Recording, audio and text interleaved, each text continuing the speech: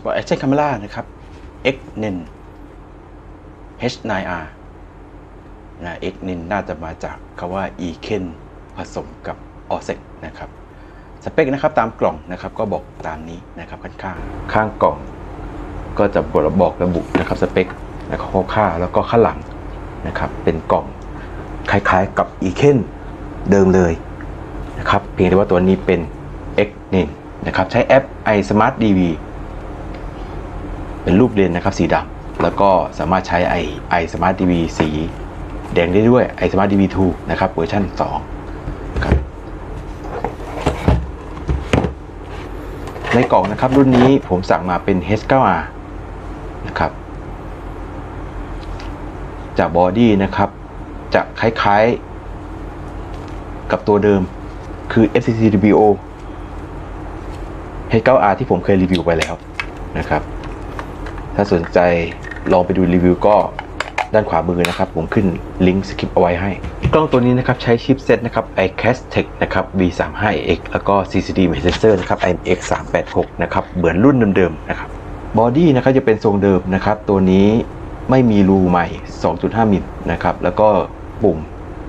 จะมีความแตกต่างออกไปนะครับเนี่ยสีนะครับ ตัวสีมันจะมีความใสกว่า แล้วก็ปุ่มตรงสี มันก็จะแตกต่างกันไป set box H9R นะครับสั่งมาก็มีรีโมทให้นะครับส่วนรุ่น H9 ธรรมดานะครับก็รองรับรีโมทเหมือนกันนะครับเพียงแต่ว่าต้องซื้อแยกขนาดแพ็กเกจนะครับคู่มือจะเป็นสีเหลืองนะครับคล้ายๆ กับตระกูล o s e c รูปแบบของเมนูเนี่ยคล้ายๆกับ o s e c เลยนะครับแล้วก็ใช้แอป iSmart DV2 ได้นะ iSmart DV2 สีแดงนะครับในแพ็กเกจนะครับก็จะมีสาย micro USB นะครับ มีเป็นฐานนะ quick release นะครับแล้วก็อันนี้เป็น สายรัดข้อมือนะครับกับรีโมทแล้วก็พวกฮุกนะครับเป็นฮุกธรรมดานะ quick release ฮุกธรรมดานะครับแล้วก็ mini tripod นะครับเอาไว้ใส่กับพวก monopod เนี่ยหมุนได้อย่างนี้นะครับอืมทำไมให้ของน้อยจังจริงๆควรจะเป็น J hook นะครับใช้ quick release อย่างนี้ก็ไม่ค่อยเท่าไหร่นะครับ ให้น้อยมาก แล้วก็มีสลิงนะครับป้องกันกาวแพ็กเกจตัวนี้นะครับจะเป็นแพ็กเกจรุ่นเล็กนะครับ ก็จะมีของเพียงแค่นี้นะครับ ถ้าต้องการชุดใหญ่ก็ให้ดูได้นะครับที่ shop shop คีรี TH นะครับคีรี TH นะครับ Shopee ผมจะลงเป็นลิงก์ไว้ข้างล่างให้นะครับอะมาดูเพิ่มเติมนะครับ ตอนนี้ผมสั่งเพิ่มเป็นแบตเตอรี่นะครับ แล้วก็มีเมมโมรี่ด้วย เดี๋ยวจะดูทีหลังนะครับ แบตเตอรี่ก็เป็นแบตเตอรี่แบบ e k e n H9R ใช้ได้นะครับ พวก SJ 4000 ก็ใช้ได้นะครับแบตเตอรี่คล้ายๆกัน ไม่แนะนำนะครับ ทุกครั้งที่ซื้อกล้องไม่แนะนำให้ใช้พวกที่ชาร์จเนี้ยเสียบตรงกับบอร์ดนะครับโดยตรงเพราะบางทีไฟนะครับที่ชาร์จพวกนี้ไฟมันเกินนะครับมันจะทำให้แผงวงจรของบอร์ดพังเร็วนะครับควรจะใช้แบตเตอรี่แยกดีกว่านะครับใช้แท่นชาร์จพวกมือถือพวกนี้อันตรายมากนะครับทำให้บอร์ดพังเร็วนะครับไม่ควรใช้นะครับไม่ควรใช้ตัวนี้ ใช้พวกแท่นชาร์จเสริมแยกดีกว่านะครับหรือถ้าประหยัดตังก็คือซื้อเป็นอย่างนี้เลย power bank นะครับถ้าเราไม่ซื้อเป็นแบตเตอรี่เสริมนะครับก็ใช้ power bank นะครับชาร์จเอา หรือไม่ก็ใช้แทนแบตเตอรี่ไปเลย จะได้ใช้ได้ยาวนานขึ้นนะครับก็แนะนำให้พอร์ตที่จ่ายออกประมาณสัก 1.5 แอมป์ถึง 2 แอมป์นะครับจะดีนะครับถ้าพอร์ตจ่ายแค่ 1 แอมป์บางทีก็อาจจะไม่เข้านะครับอาจจะไม่เข้ากับกล้องนะครับตัวนี้ แบตแยกและแท่นชาร์จเสริมนะครับก็แนะนำให้ซื้อดีกว่านะครับสำหรับคนที่ใครต้องการที่ซื้อทีเดียวนะครับแล้วก็ไม่ใช้ power bank นะครับแนะนำให้ซื้อแยกดีกว่าแบตชาร์จและแท่นเสริมนะครับ HDMI นะครับตัวนี้นะครับเป็นแค่ playback HDMI เท่านั้นนะครับ preview HDMI นะครับไม่สามารถเป็น clean HDMI ได้นะครับ memory ใส่ได้ถึงสูงสุดนะครับ256 g b เดี๋ยวมาดูแบตเตอรี่ข้างในกล้องกันนะครับรุ่นนี้อันนี้รูระบายความร้อนนะครับเจาะไว้นะครับ อย่าไปปิดนะครับรูระบายความร้อน แบตเตอรี่ก็เป็นสีนี้นะครับ 1050 นะครับ ก็เป็น 1050 มิลลิแอมป์นะครับใช้ได้เฉลี่ยประมาณสัก 45 นาทีนะครับถึง 60 นาทีนะครับต่อการใช้งานนะครับ เฉลี่ยเฉลี่ยนะครับพวกแบตเตอรี่พวกนี้ก็ใช้ได้ประมาณนี้แหละนะครับ แล้วก็ใช้พวกนี้อย่างนี้ได้นะครับเป็นแบตแบบนี้พวกพวกโซโค SJ 4000 นะครับ พวก e k e n H9R พวกเนี้ยใช้งานได้หมดนะครับ แบบนี้ก็ใช้งานได้นะครับ ก็ดูตามความจุแล้วกันนะครับมาแกะเลนดู ระวังหน่อยนะครับ แล้วก็แกะฟิล์มเปิดเครื่องนะครับ ให้กดปุ่มข้างหน้านะครับ กดค้างไว้แป๊บหนึ่งนะครับแต่เปิดเครื่อง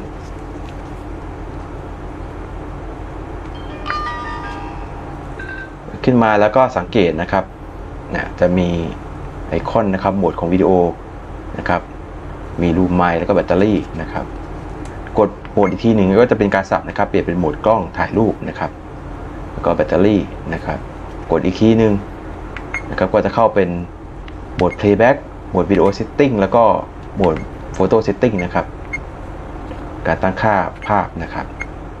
นะกดโหมดอีกทีหนึ่งก็จะกลับนะครับเนี่ยโหมด photo กดปุ่มข้างบนค้างไว้ก็จะเข้าเป็นโหมดในการถ่ายนะครับถ่ายภาพ นะครับ ก็จะมีตามนี้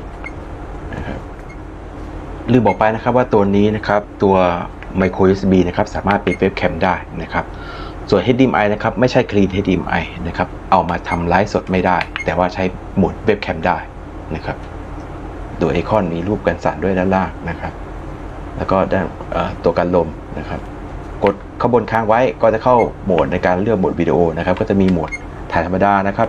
loop time lapse slow motion แล้วก็ fast motion แล้วก็เปิดปิดไไฟล์นะครับกดโหมดอีกทีก็จะกันเป็น back กลับนะครับเดี๋ยวเรามาเท่าตั้งค่าละเอียดใน photo นะครับเข้าไป general setup ก่อนดีกว่านะครับดูเฟิร์มแวร์รุ่นนะครับ จะเป็นรุ่น Action Cam นะครับ เดือน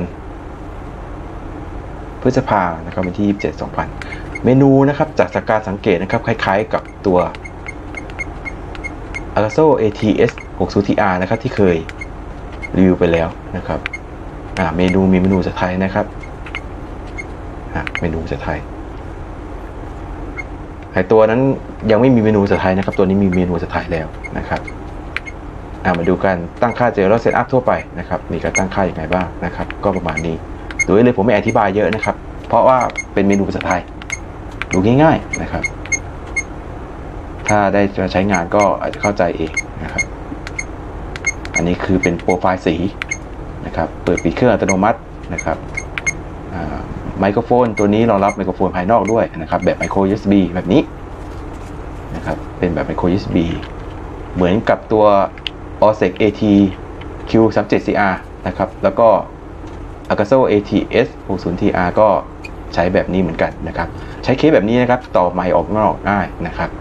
ก็คือรูมันก็ใช้ได้ได้เลย แล้วก็ใช้ quick case ของ SJ 4000 ได้นะครับ H9R ก็ใช้งานได้เลยคือเคสแบบนี้นะครับเคสเปลือยนะครับการเลือกไมค์นได้นะครับทำ vlog ได้นะครับอะสนใจคลิปเก่าๆนะครับรุ่นอื่นๆนะครับที่รองรับพวกไมค์นะครับแล้ว vlog นะครับผมก็จะลงเป็นการ์ดไว้ให้ด้านบนขวามือนะครับปุ่มกลับจอนะครับกรณีที่เราไปห้อยกับรถนะครับจักรยานหรือว่ารถยนต์นะครับนะครับเปิดปิดอัตโนมัตินะครับ พักหน้าจอเวลาไม่ใช้งานนะครับมันกี่นาทีขอบทีไฟฟ้านะครับเลือกที่ 50 เฮิร์ตเสมอนะครับ แล้วก็ตั้งคลิกตั้งวันที่เวลา ทั่วไปภาษามาดูเมนู แล้วก็ format การ์ดนะครับกรณีราใส่การ์ดนะครับ รุ่นนี้นะครับ แนะนำให้ใช้เป็นการ์ดนะครับคลาส10 U3 นะครับ ตัวนี้ผมก็ได้มากับร้านเหมือนกันนะครับ ซื้อเป็นแพ็กเกจเดียวกันนะครับราคาเพิ่มไม่กี่บาทนะครับ นนี้ก็เป็นข้อมูลของ Memory Card นะครับ แล้วก็ Format Card อันแบ็กกลับไปที่เมนูนะครับ เดี๋ยวตั้งค่าอีกอย่างหนึงนะครับนะครับ การตั้งค่ารูปนะครับ อ่ามาที่โหมดการตั้งค่าของรูปนะครับความละเอียดของภาพนะครับ ก็ได้สูงสุด 24 เมกะพิกเซลนะครับ คุณภาพภาพประมาณไหนนะครับ ISO นะครับ ตัวนี้รองรับถึง 3,200 นะครับ แล้วก็ชดเชยแสงนะครับ EV นะครับ บวก2ลบ2นะครับ ค่าวัดแสงนะครับ ตรงกลางกับหลายจุดนะครับ แสดงวันที่เวลาใสแตมวันที่นะครับวันนี้ก็กลับมาที่เมนูเดิมละเดี๋ยววนกลับไปก่อนนะก็ general setup เหมือนเดิมนะครับอะแบ็กกลับไปนะครับ มาที่การตั้งค่าวิดีโอนะครับ การตั้งค่าวิดีโอนะครับที่ 4K 30 fps นะครับ แล้วก็ มี Full HD 30 fps ด้วยนะโอเคนะครับมี 30 fps นะครับการสั่นเปิดปิดได้นะครับมีการจัดนะครับเปิดปิดเสียงไมค์นะครับเปิดปิดเสียงไมค์นะครับไม่ใช่ไมค์เอทานอลนะครับคนละอันกันนะครับแล้วก็ชดเชยแสงนะครับ EV บวก0บวก1นะครับเหมือนกัน ค่าวัดแสงก็มีเฉลี่ยกับตรงกลางนะครับสแตมวันที่นะครับถ้าเวลาวนลงไปในรูปและวิดีโอนะครับถ้าไม่ใช้ก็ไม่ต้องใส่นะครับ แล้วก็ general setup ก็เหมือนกันนะครับอะ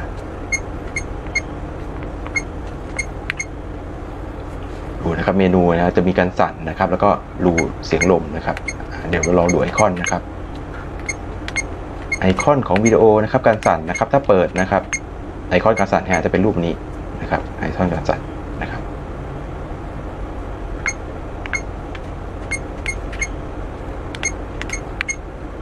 วิดีโอถ้าเลือกเป็น 2.7K นะครับ 60 เฟรมนะครับ ก็สามารถเปิด auto low light นะครับ จะมันจะเป็นคำว่าแสงสีอัตโนมัติเนี่ยเขาเรียก auto low light นะครับ มันจะสัมพันธ์กับกันสั่นนะครับ ถ้าเปิดมันจะปิดไม่ได้นะครับ มันต้องให้เปิดอย่างใดอย่างหนึ่งนะครับ ที่แสงน้อยอัตโนมัตินะครับ auto low light นะครับแล้วก็สามารถเปิดการตั้งค่าบิดเบือนได้ก็คือ Lens Distortion Calibration นะครับตัวนี้เปิดปิดได้นะครับ มันก็จะสัมพันธ์กันกับตัวกันสั่นด้วยนะครับ Lens Distortion Calibration นะครับหรือ LDC on นะครับเอาไว้ลดมุมโค้งนะครับไม่ให้มุมภาพนะครับมันเลนส์มันโค้งเหมือนตาปลานะครับ หรือว่าเรียก LDC on นะครับ นี่ครับ auto light นะครับ เดี๋ยวลองไปดูเมนูที่เป็นภาษาอังกฤษดีกว่าว่า auto light ถ้าเป็นเมนูภาษาอังกฤษมันจะขึ้นว่ายังไงนะครับ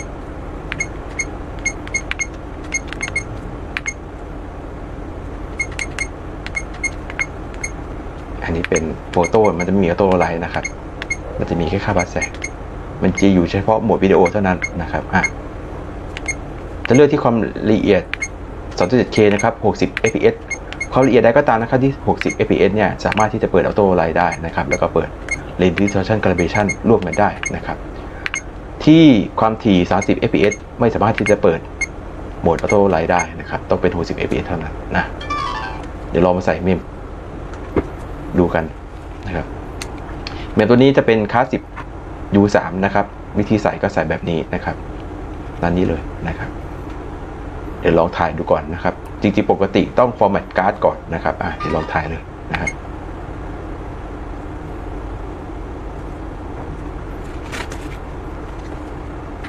กดข้างหน้าเมนูก็จะเป็นหมวดนะครับอ่า playback นะครับ กดค้างนะครับ จะเป็นการเลือกเข้ามานะครับแล้วก็ play นะครับฟังเสียงเอา ไม่มีเสียงสิผมไม่ได้พูดนะ กดค้างอีกก็จะเป็นการแบ็กออกมานะครับแล้วก็ถึงจะลบท้ายก็กดค้างนะครับทีหนึ่งนะครับแล้วก็เลือกไฟล์นะครับก็กดค้างก็บนอีกทีหนึ่งนะครับเป็นการเลือกโอเค จะเลือกลบทุกไฟล์นะครับหรือว่าเลือกแค่ไฟล์เดียวนะครับแล้วก็ตอบเย็ดไปนะครับประมาณนี้อันนี้คือการลบไฟล์นะครับวิดีโอกดโหมดอีกทีหนึ่งก็จะเป็นการกลับนะครับ แนะนำนะครับให้ใช้ Memory นะครับคลาส 10 U3 นะครับตัวนี้จริงๆแล้วเมื่อก่อนนะครับใช้กับตัวรุ่นนี้ไม่ได้เพราะว่ารุ่นนี้เมื่อก่อน จะเป็น 4K 60 fps นะครับ แต่ว่าตัวนี้ใช้ได้นะครับ ใช้ได้ เพราะว่าตัวนี้แค่ 4K 30 fps นะครับ เนี่ย อันนี้คือเป็นการ์ดที่มาจากโรงงานนะครับ มากับกล้องด้วยนะครับ อยู่ในแพ็กเกจนะครับ ก็สามารถใช้งานได้นะครับเป็นการ์ด 10 U3 เหมือนกันนะครับ อ่า อันนี้ข้อมูลของ Memory นะครับ ทุกครั้งที่ใส่การ์ดนะครับ ให้ format การ์ดด้วยนะครับ format memory card นะ เอาดูความจุนะครับของ memory card นะครับเนี่ย ความจุประมาณนี้นะครับ เป็นข้อมูลบัตร ถ้าเป็นภาษาไทยนะ แปลงงๆนะครับเดี๋ยวเรามาเปลี่ยนเมมดูนะครับเดี๋ยวใช้เมมเป็นเมมยี่ห้อโลเลนะครับ ตัวนี้จะประกันแค่ 1 ปีนะครับ ประกันแค่ 1 ปีดูก่อนว่าใช้งานได้หรือเปล่านะครับ ถ้าใช้งานได้ก็โอเค ซึ่งตัวชิปนะครับ iCatch นะครับ V35X ก็จะเหมือนเหมือนกันหมดนะครับ คุณภาพของกล้องนะครับ ต่อให้เป็นชิปเซตเดียวกัน CCD เดียวกันนะครับ ต่อให้หน้าตาแบบไหนนะครับ body แบบไหนก็คุณภาพเหมือนกันหมดนะครับ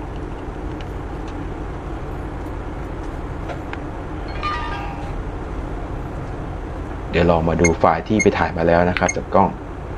นะครับ ที่เป็นชิปเดียวกันนะครับ ที่เป็นชิปเดียวกันจะเป็น xnen นะครับ a10 นะครับ อันนี้คือไฟล์ที่ถ่ายจาก xnen a10 นะครับ นี่ยอันนี้ไปถ่ายข้างนอกมานะครับ ก็คือใช้ชิปเดียวกันนะครับ iCattech V3 5 AX เหมือนกัน แล้วก็ CCD Processor ก็เป็น Sony นะครับ IMX 386 เหมือนกันครับคุณภาพของไฟล์ก็จะประมาณนี้ครับวิธีเล่นก็กดค้างไว้นะครับ ก็จะเข้าไปในไฟล์อันนี้คือถ้าได้มาต้องลองใช้เองดูนะครับ ถึงจะเข้าใจวิธีการใช้งานนะครับฟังเสียงดู เสียงลำโพงถือว่าพอใช้ได้นะครับ ถ้ารุ่นอื่นๆมาจะไม่ค่อยได้ยินเท่าไหร่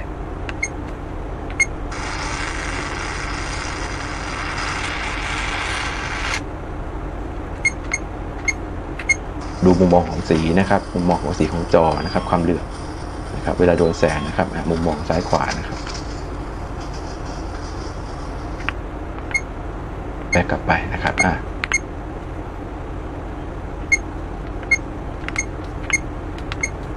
นะความจุของการ์ดนะครับวันนี้เหมือนกันคาสสิก U3 นะครับ การถอดใส่ memory card นะครับควรจะปิดเครื่องนะครับไม่ควรถอดออกเลยระหว่างเปิดเครื่องนะครับควรจะปิดเครื่องก่อนค่อยถอด memory ออกนะครับเพิ่มเติมนิดหนึ่งนะครับ memory นะครับถ้าเราซื้อนะครับก็ถ้าซื้อแบบนี้มันจะรับประกันแค่หนึ่งปีนะครับพวกนี้รับประกันแค่หนึ่งปี พวกเมมนี้ถ้าเราสั่งมาจากพวกแพ็กเกจเนี่ยมันจะไม่มีประกันเลยนะครับแนะนำให้ซื้อพวกตามร้านพวกช็อปไอทีดีกว่านะครับพวกนี้ประมาณ 190 บาทนะครับ250 บาท แต่ว่ามีประกัน 3 ปีนะครับ แล้วก็เป็นของแท้นะครับ ไม่แนะนำให้ซื้อออนไลน์นะครับ อันนี้คือเป็นของแท้นะครับจากช็อปเลย แนะนำไปไปซื้อที่ช็อปดีกว่า พวกช็อปไอทีนะครับจะได้ประกันที่ยาวนานกว่าด้วยนะครับ พวกนี้ก็จะประกันแค่ปีเดียวนะครับ ตามความคุ้มค่า แล้วมาลองดูตัวอย่างกัน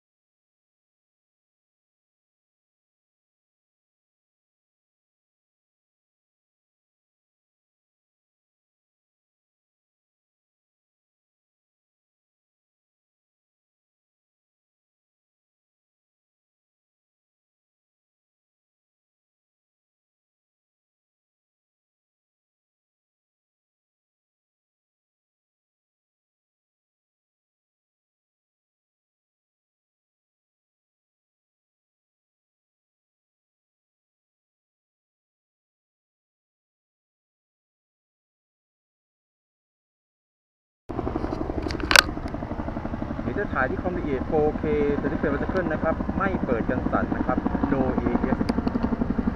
ES anti shake disable ใส่ที่คอนะครับ naked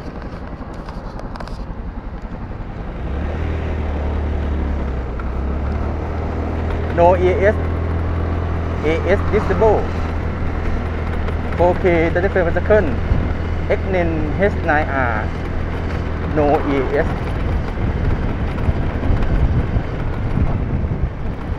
อันนี้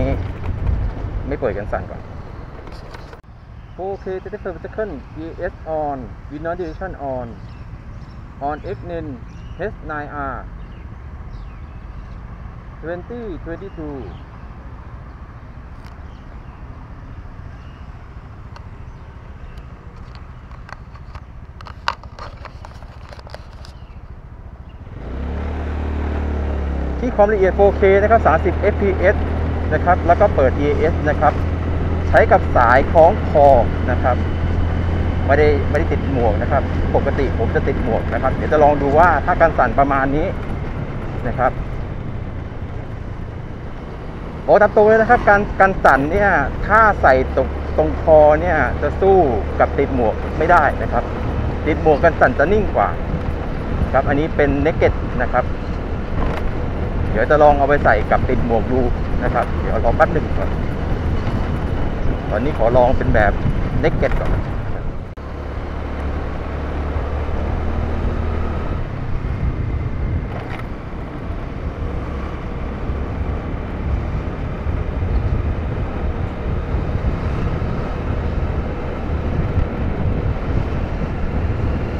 โอเคจะเป็นสเกิล ES on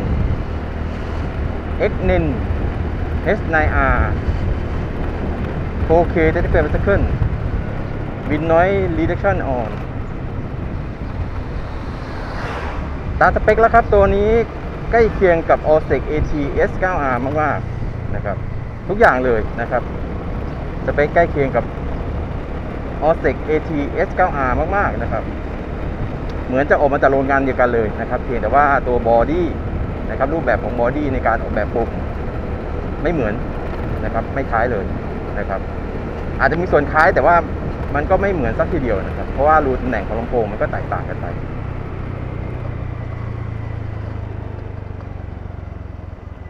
เดี๋ยวจะลองเปลี่ยนจากติด naked นะครับ ไปเป็นที่ติดหมวกนะครับที่ 4K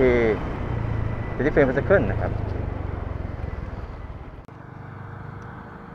4K 30 frame per second X9 H9R Mount on Helmet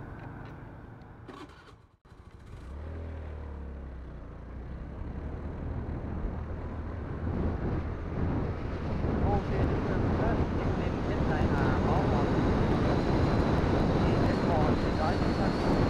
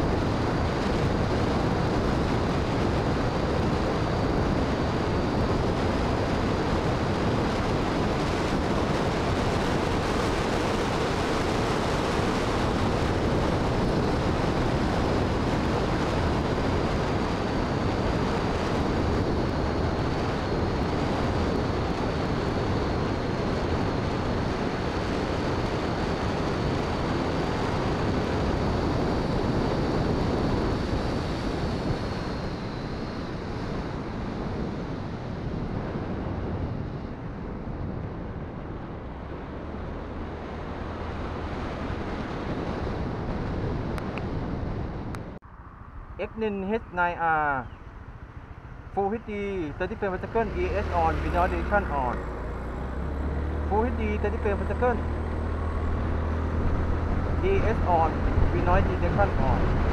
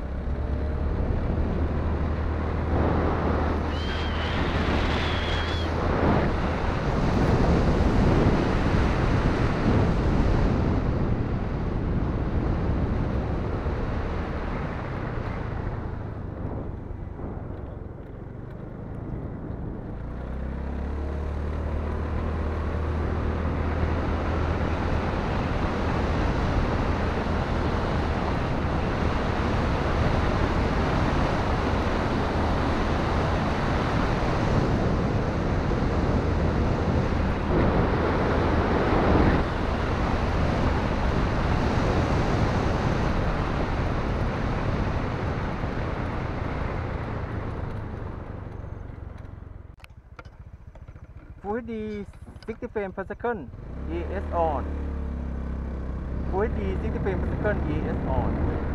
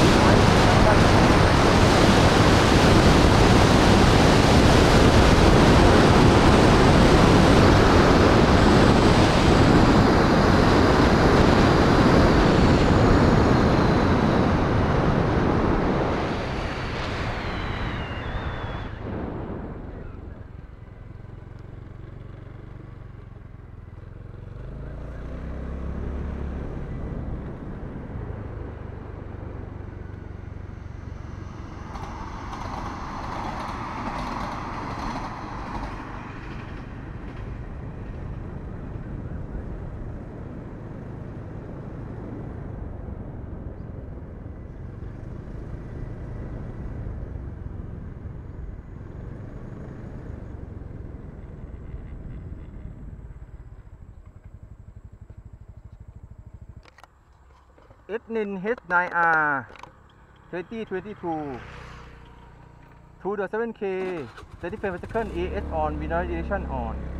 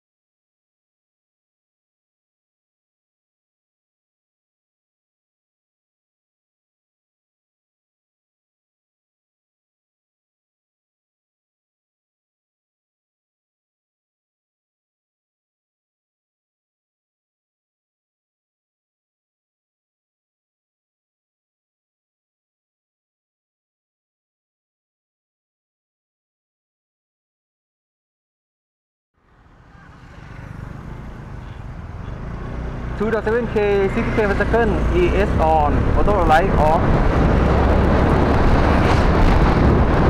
2.7K 60 frames per second Xnin H9R 2022 2.7K 60 frames per second ES on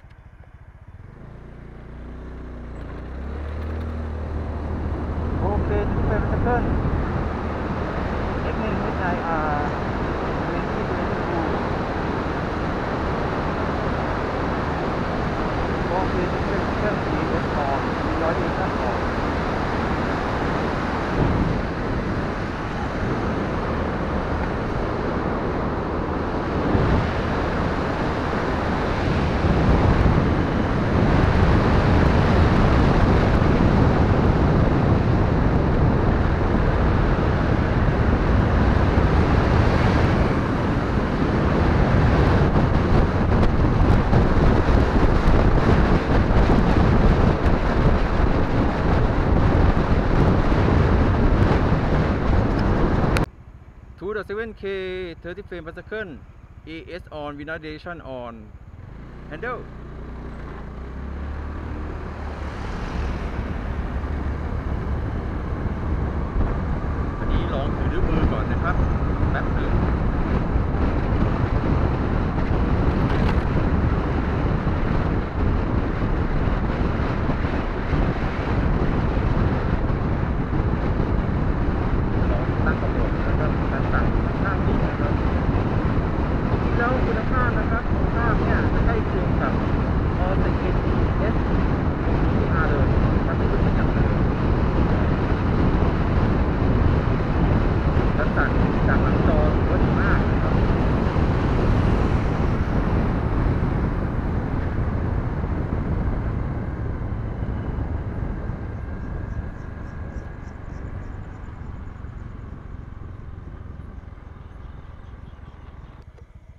the 7K 35 bicycle ES on mount on helmet X9 H9R Minor Edition on EX on to the 7K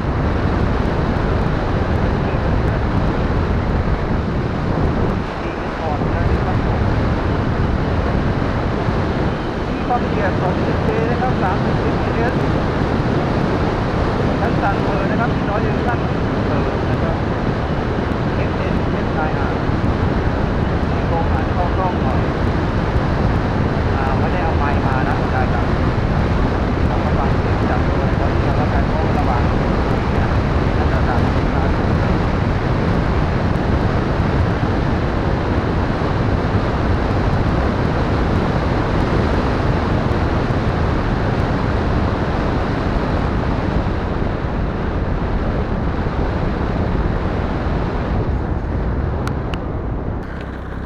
immediately pharmaceutical aid is on mineralization on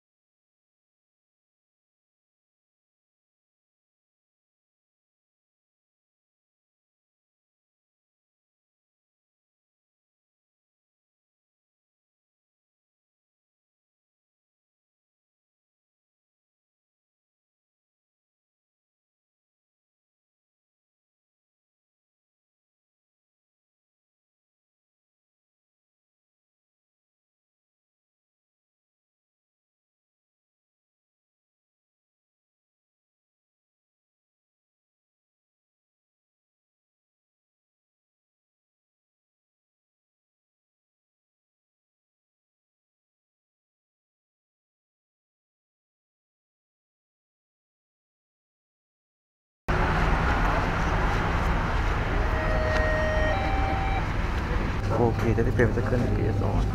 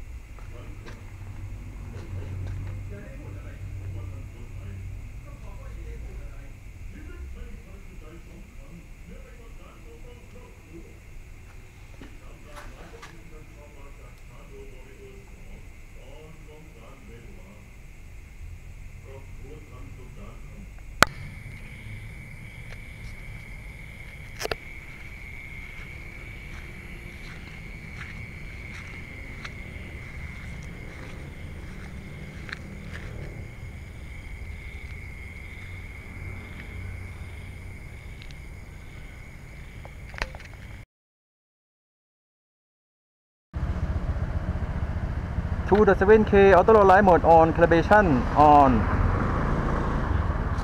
on Xnin H9R 2022 2 the 7K 60 frame per second auto low light mode on ES off LDC on กล้อง Xnin H9R นะครับตัวนี้ นะครับจะเปิดโหมดอัตโนมัติได้ก็ต่อเมื่อปรับไปที่ความละเอียดนะครับใดก็ตามนะครับที่เฟรมเรท60 fps นะครับ จะสามารถเปิดโหมดออโต้ไลท์โหมดอ่อนได้นะครับ เอาไว้ขับขี่รถ ในที่แสงน้อยนะครับ ก็จะช่วยทำให้ frame rate กล้อง ลดลงนะครับ แล้วก็เพื่อเก็บแสงได้ดีขึ้น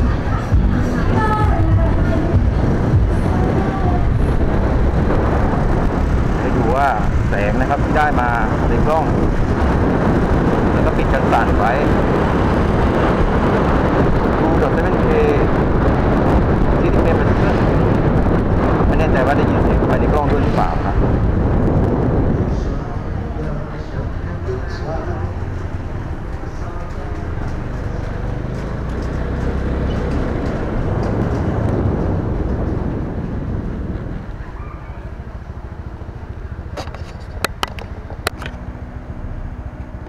2.7K Auto Light Mode on EAS off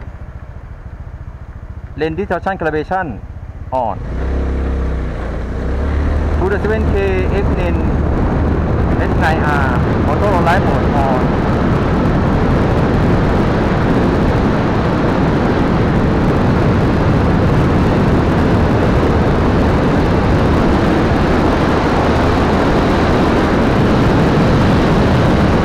ก็เขาไม่เปิดกันสั่นนะครับก็จะประมาณร้อย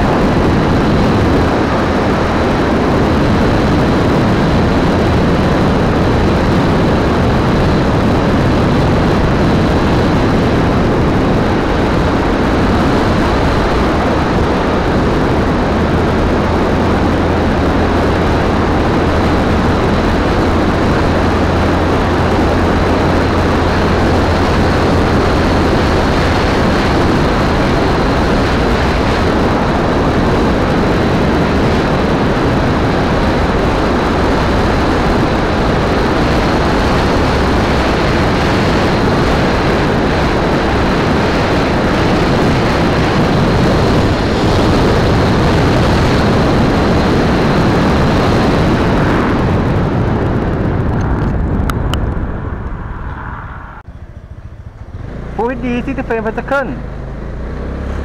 Auto Light Mode on ES off Lane Distortion Calibration on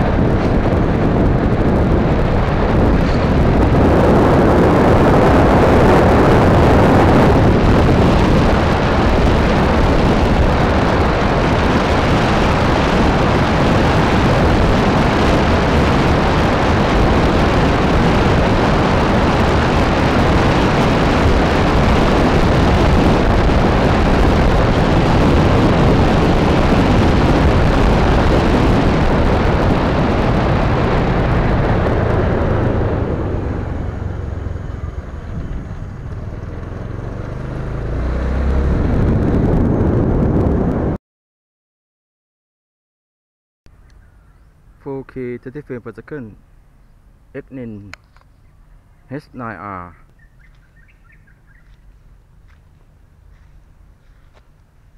No AS on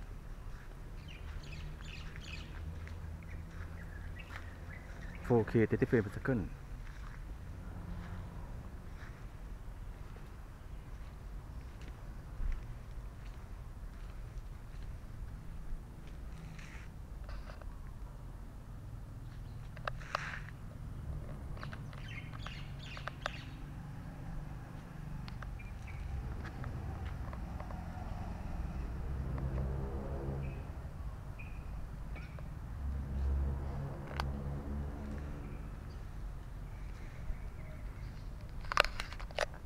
no AS on handle.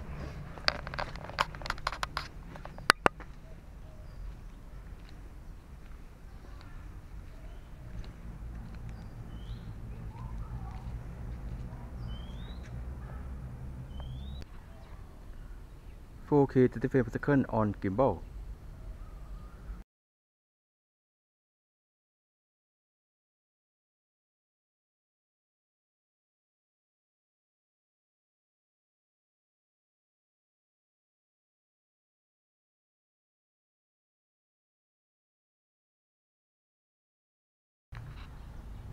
X-Nin H9R 20 22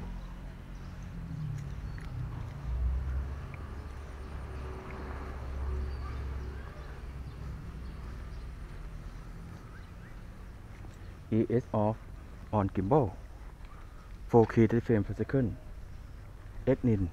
H9R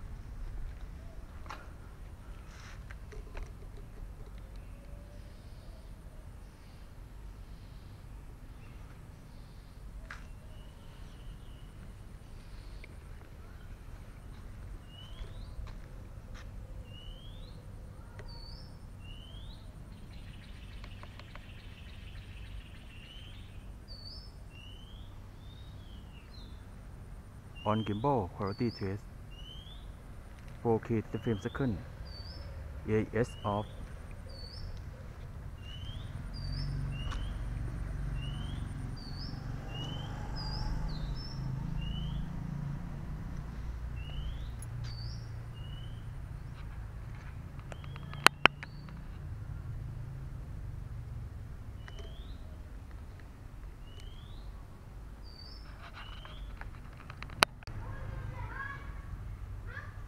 3 30 frames per second is on with noise direction on X9 H9R on handle EAS on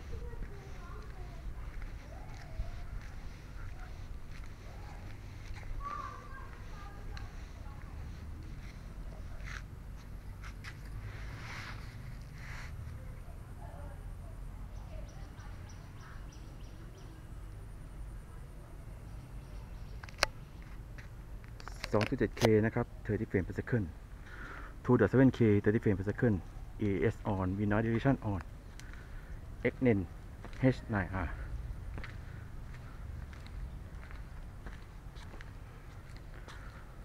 2.7K 30 frame per second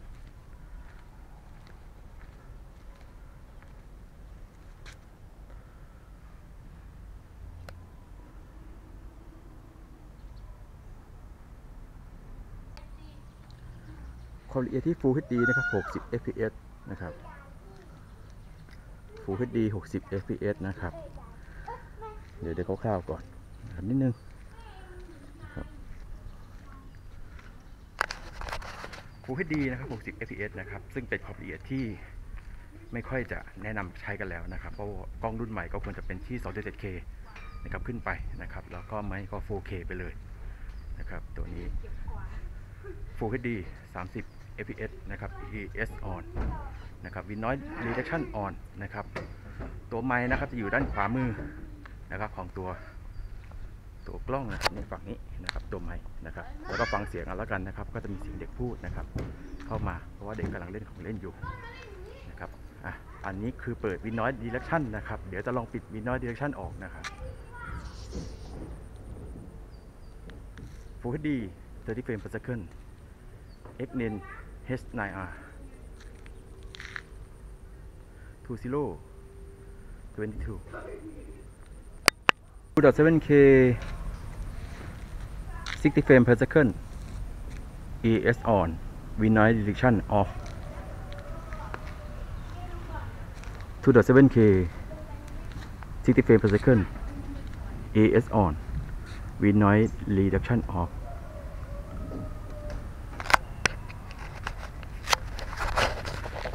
ที่ความละเอียดนะครับ 2.7K 60 fps นะครับ สามารถที่จะเปิด auto low light ได้นะครับ แล้วก็เปิดกันสั่นได้นะครับ ตัว frame rate นะครับ จะสังเกตได้ว่า frame rate นะครับ ค่อนข้างที่จะดู fake ๆขึ้นมาหน่อยนะครับ เหมือน frame double ขึ้นมานะครับ ภาพก็ไม่ได้ดูลื่นหรือคมขึ้นนะครับ ก็ตามคุณภาพของ chipset ราคาประหยัดก็ก็จะได้ประมาณนี้นะครับ AXNEN H9R นะครับ ตอนนี้ ปิด wind noise reduction แล้วนะครับแต่ ES ยังออนอยู่นะครับสามารถที่จะเปิด Auto Low Light ได้นะครับตอนนี้เริ่มเย็นๆแล้วครับแสงโพล้เพล้นะครับเดี๋ยวจะลองเปิด Auto Low Light นะครับแล้วก็ใส่กับ Gimbal ดูนะครับที่ความละเอียดของกล้องนะครับที่ 60 frame per second ขึ้นไปนะครับ จะสามารถที่จะเปิด Auto Low Light โหมดได้นะครับ เท่านั้นนะครับถ้าเป็นโหมดอื่นก็จะเปิดไม่ได้นะครับ ที่ความละเอียดอื่นจะเปิดไม่ได้นะครับโหมด auto low light นะครับจะเท่านี้ที่จะเปิดได้นะครับต้องเป็นเอ่อ60เฟรม per second นะครับก็จะเปิดได้ แล้วก็ตัวนี้จะสัมพันธ์กับ Lens Distortion Calibration นะครับแล้วก็ ES นะครับถ้าเปิดอย่างใดอย่างหนึ่งนะครับก็จะไม่สามารถเปิดออโต้โลไลท์ได้นะครับ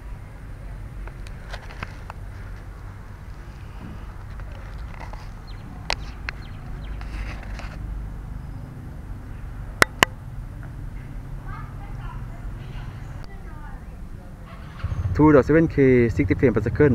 auto low light mode on lens distortion calibration on LDC on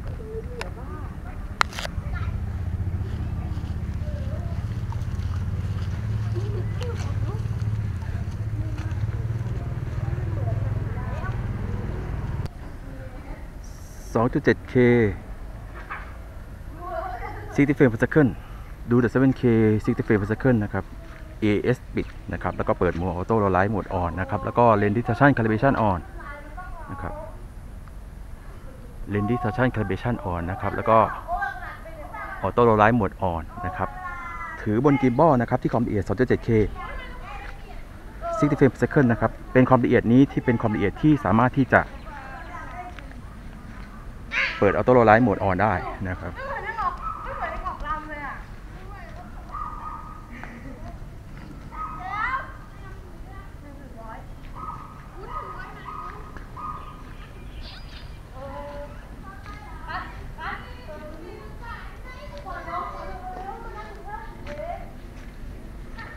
แส งเย็นๆนะครับ เริ่มมีแสงแล้วนะครับ 2.7K 60 frame per second นะครับ จะสามารถเปิด Auto Light Mode On ได้นะครับก็ตอนนี้นะครับเปิด Auto Light Mode On แล้วก็ถือบทกิมบอลนะครับ แต่ดูนิ่งหน่อยเพราะเนื่องจากว่าถือบนกิมบอลนะครับตัวนี้ ถือบนกิมบอลนะครับ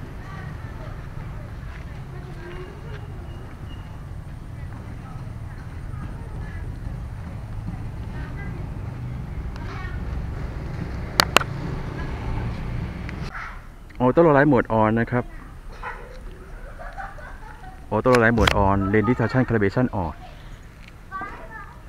ที่ Full HD 60 frame per second นะครับ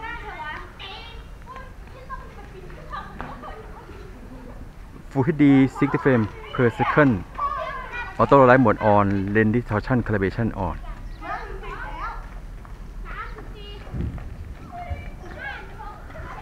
no AS on handle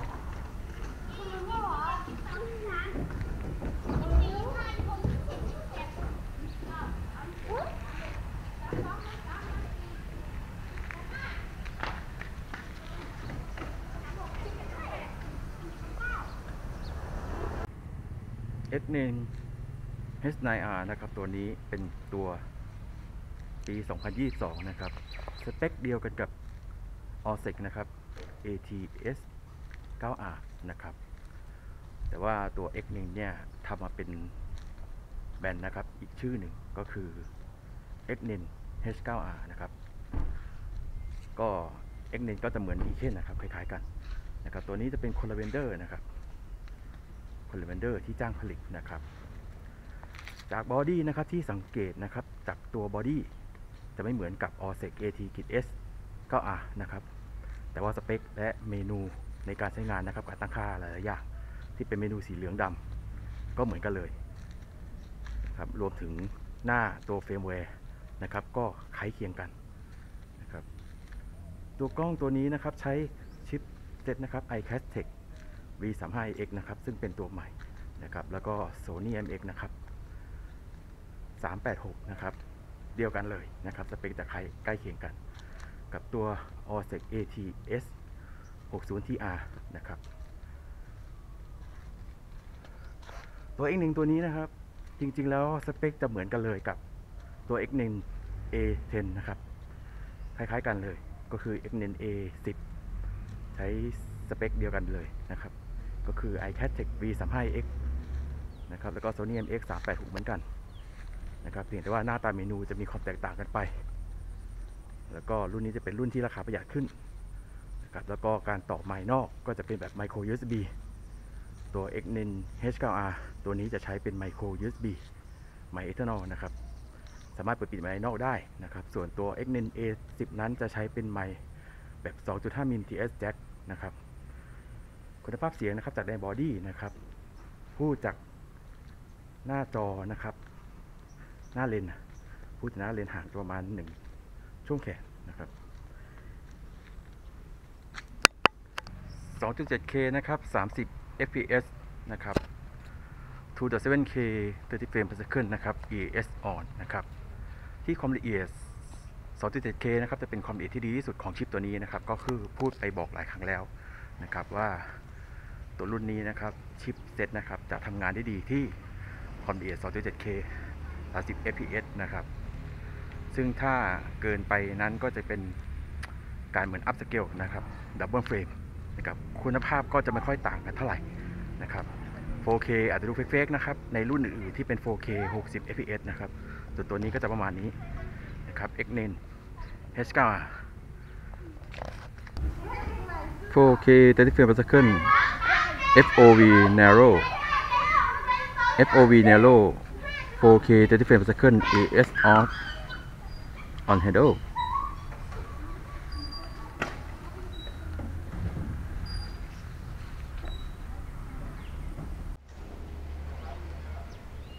ฟูให้ดีนะครับ30 fps ไม่เปิดกันสั่นนะครับ ไม่เปิดกันสั่นใช้เป็นไมค์เอทานอลนะครับ ดูสีของตัวรถนะครับ จะออกสีแดงทึมๆนะครับ อย่างที่เคยบอกทุกครั้งนะครับว่าสีแดงของตัวเซนเซอร์โซนี่นะครับคุณภาพสีจะมีความเพี้ยนๆนิดหน่อยนะครับ external mic นะครับ quality check นะครับ แล้วก็ไม่เปิดกันสั่นนะครับที่ Full HD 30 fps นะครับ ไม่เปิดกันสั่น Xnin H9R Anti Check Off Full HD 30 frame per second on handle ถือด้วยมือนะครับ ไม่เปิดกันสั่นจะลองดูคุณภาพของความคมชัดนะครับ ถ้าไม่เปิดกันสั่นนะครับ ที่ Full HD 30 fps นะครับ มุมมองภาพกว้างที่สุดนะครับ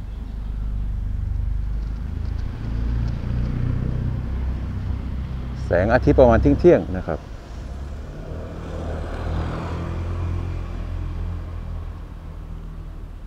Full HD 30 frame per second Xnin H9R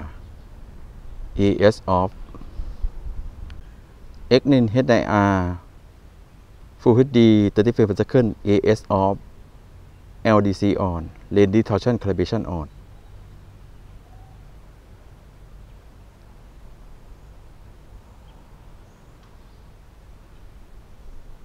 ดี๋ยวจะลองเปิดกันสั่นนะครับ จะดูว่าความคมของภาพนะครับ มีการขอบลงไปไหมนะครับ ให้สังเกตเครื่องเล่นนะครับ เดี๋ยวจะลองเปิดกันสั่นดูนะครับว่าคุณภาพของภาพมันจะมีการขอบลงไปหรือเปล่านะครับ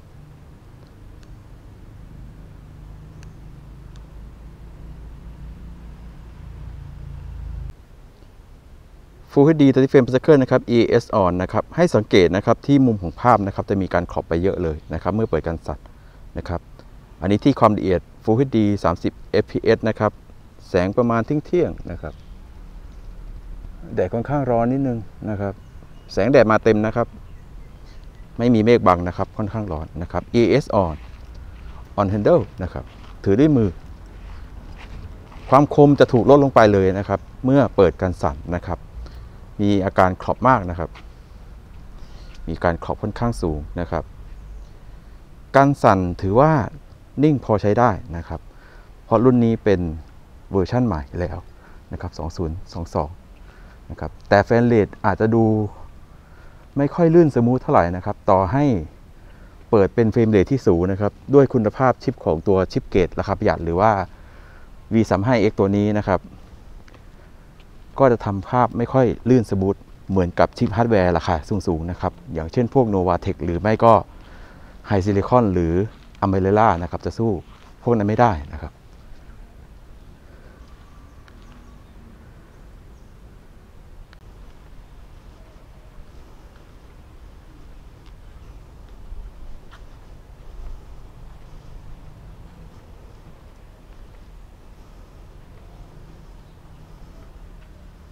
ที่เป็นการทดสอบ เสียงใน body นะครับ one two three four five six seven eight nine ten นะครับ ไก่จิกเด็กตายบนปากโอ่งนะครับ ไก่จิกเด็กตายบนปากโอ่ง ตอนนี้นะครับไม่ได้ใช้สายไมค์นะครับ เป็นไมค์แบบ external นะครับ อันนี้คือไมค์สายนะครับ แบบ micro USB นะครับ เดี๋ยวจะลองใช้เป็นไมค์สายแบบ micro USB นะครับ แบบนี้นะครับ ตอนนี้นะครับที่ใช้อยู่นะครับก็เป็นเสียงไมค์ internal นะครับทำการเช็คเสียงไมค์นะครับ x n e n H9R นะครับ1 2 3 4 5 6 7 X 9 10นะครับ ไก่จิกเด็กตายมาปากโอนะครับ1 2 3 4 6 7 8 9 10นะครับ1 2 3 4 5 6 7 X 9 10นะครับไก่จิกเด็กตายมาปากโอนะครับจะสังเกตได้ว่านะครับถ้าความละเอียดที่ 4K 30 fps นะครับหรือใดๆก็ตามนะครับ ถ้าเปิดการสั่นนะครับจะมีการขอบมากนะครับ รุ่นนี้มีการขอบค่อนข้างเยอะนะครับ ความละเอียดของภาพก็จะถูกลดทอนลงไป เยอะเลยนะครับ แต่ แลกด้วยการสั่นที่นิ่มขึ้นนะครับ แต่มุมมองภาพนะครับที่แคบลงนะครับ ถ้าจะใช้ทำวีล็อกนะครับ ก็แนะนำให้ใช้เป็นไม้เซลฟี่นะครับยืดๆนะครับ ก็จะได้มุมมองที่กว้างกว่านี้นะครับ อันนี้คือถือสุดเอื้อมแขนของมือแล้วนะครับ ภาพก็ยังขอบประมาณนี้เลยนะครับ ตอนนี้นะครับลองปิดการสั่นนะครับ ก็ให้เสียงไมค์ใน body นะครับ เปิด wind noise reduction นะครับ แล้วก็เปิด LDC นะครับ หรือว่า Lens Distortion Calibration นะครับ ปิดการสั่นนะครับ จะเห็นได้ว่ามุมมองของภาพนะครับ ค่อนข้างกว้างขึ้นนะครับ ความคมชัดของภาพก็น่าจะเพิ่มขึ้นนะครับ เพราะเนื่องจากว่าภาพไม่มีการ crop ลงไปแล้วนะครับ เสียงเนี่ยผมพูดประมาณปกตินะครับ แต่ว่ามือห่างจากตัวกล้องก็ประมาณช่วงแขนนะครับ จากการทดสอบนะครับ เบื้องต้นเสียงนะครับ ค่อนข้างเบานะครับจำเป็นต้องใช้นะครับไมค์เอทานอลแบบนี้นะครับ เป็นแบบไมโคร USB นะครับแบบนี้นะครับ เดี๋ยวจะลองใช้เป็นไมโคร USB นะครับ ต่อเข้าไปดูนะครับ แต่ว่าต้องปิดเครื่องก่อนนะครับ ปิดเครื่องก่อนต่อสายนะครับ จะปลอดภัยที่สุดนะครับ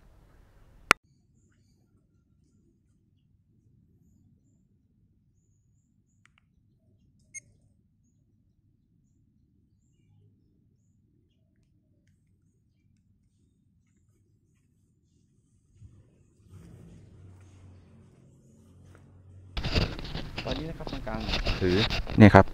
ตอนนี้นะครับใช้เป็นไมค์ external นะครับ แบบนี้นะครับ ต่อไมค์สายยาวนะประมาณว่านะครับ แล้วก็ปิดการสั่นนะครับ เปิด lens distortion calibration นะครับ แล้วก็ wind noise reduction ก็ปิดแล้วนะครับนี่เดี๋ยวผมพูดพูดห่างนะอ่าเดี๋ยวลองพูดใกล้ๆไมค์ดีกว่านะครับตอนนี้นะครับเอาไมค์นะครับมาเหน็บที่ตรงนี้นะครับ ขอไมค์นะครับ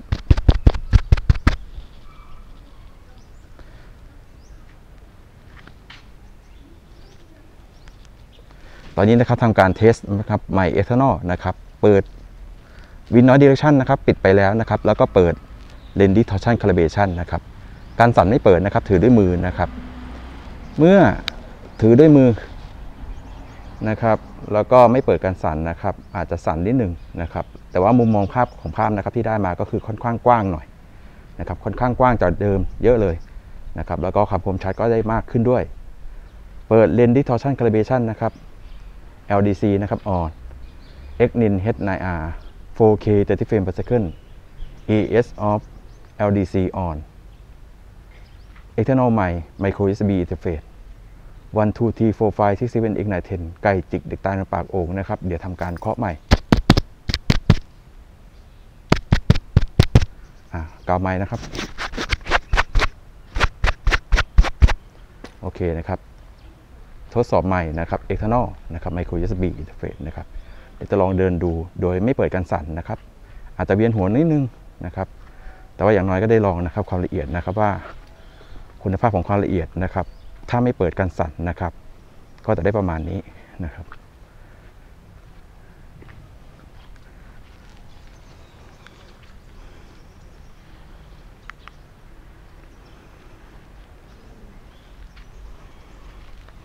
ถ้าไม่เปิดกันสั่นนะครับ แนะนำให้มี gimbal จะดีที่สุดนะครับ อันนี้เป็นเสียงไมค์ external นะครับ พูดจากหลังกล้องนะครับ แต่ว่าก็อิงจากตัวไมค์ของ external อยู่ดีนะครับ จะมีไอคอนรูปไมค์นะครับ ด้านขวานะครับเป็นรูปไมค์สายนะครับ ถ้าใช้เป็นไมค์ external นะครับ เมื่อเราเปิด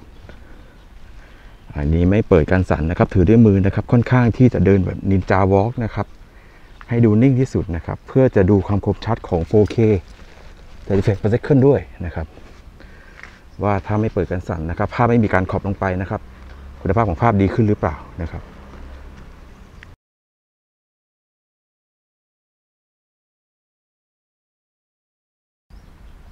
Xnin H9R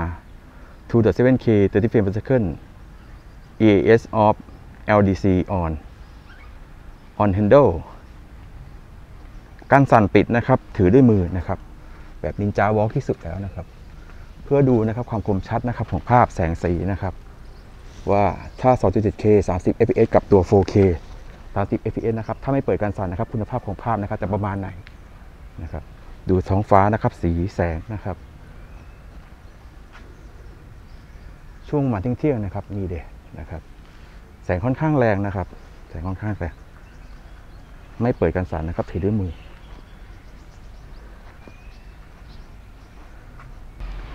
Full HD 30 fps นะครับ Full HD 30 frames per second นะครับ X1 H9R on handle ES off LDC on external microphone on handle ทดสอบความคมชัดนะครับของภาพนะครับเมื่อปิดกันสั่นนะครับ แดดประมาณเที่ยงๆนะครับ มันร้อนนิดหนึ่ง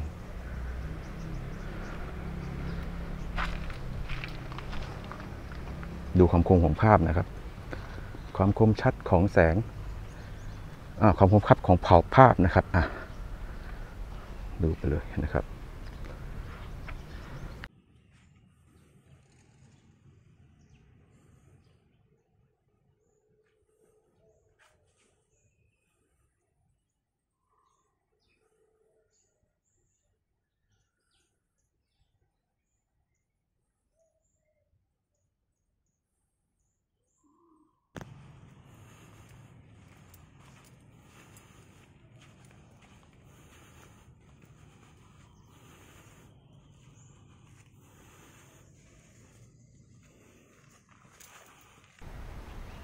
ติดเกมบอลนะครับที่ความละเอียดนะครับ 4K 30 frames per second นะครับ ES on on gimbal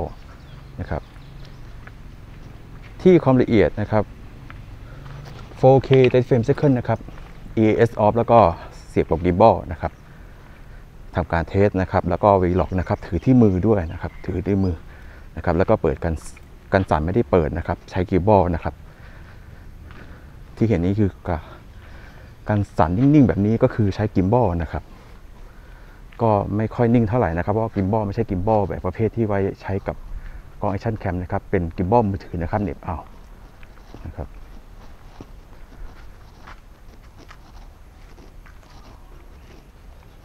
4K 30 fps นะครับ 4K 30 frames per second EIS off on gimbal อาจจะดูเวียนหัวหน่อยเดี๋ยวขอเทสทีเดียวแล้วกันครับกล้องตัวนี้นะครับเป็นกล้องที่ถือว่าราคาประหยัดแล้วนะครับที่สุดแล้ว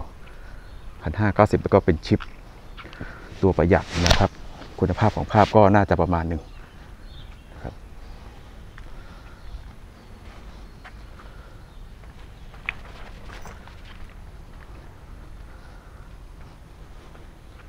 one two three four five six seven eight nine ten นะครับไก่จิกเด็กตายเป็นปากโอ่งนะครับ ใช้เป็น ไมค์ external นะครับ แล้วก็ถือกับ gimbal นะครับทำการ vlog test นะครับ เดินดูนะครับ ใช้ gimbal นะครับ เดี๋ยวเราถ่ายให้ดูนะครับว่าผมใช้ gimbal แบบไหน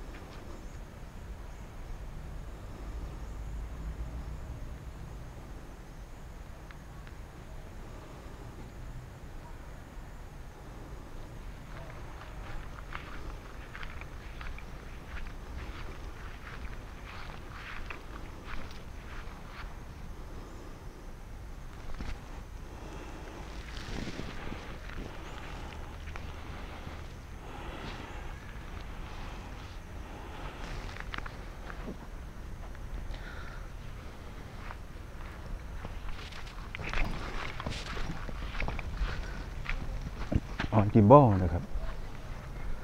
ทดสอบถือด้วย gimbal นะครับ ก็ใช้ไมค์ข้างนอกนะครับ4K thirty frame per second นะครับ EIS off on gimbal external microphone AXNEN H9R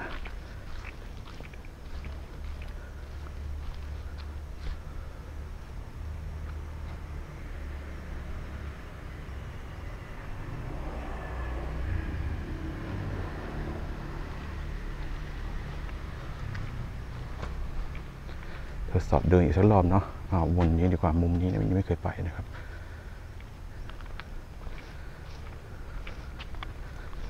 on gimbal นะครับ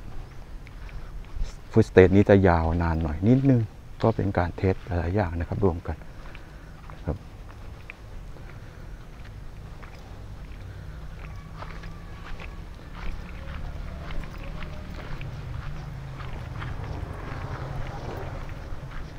ใหม่นะครับ ซาวด์ที่เช็คนะครับ1 2 3 4 5 6 7 8 9 10นะครับไก่จิกเด็กตายเป็นปากโอนะครับ1 2 3 4 6 7 8 9 10นะครับใช้เป็นไมค์ external นะครับ Xnin H9R ไมโครโฟน USB external micro USB interface sound check 1 2 3 4 5 6 7 8 9 10นะครับ1 2 3 4 6 7 8นะครับไก่จิกเด็กตายเป็นปากโอนะครับ Xnin H9R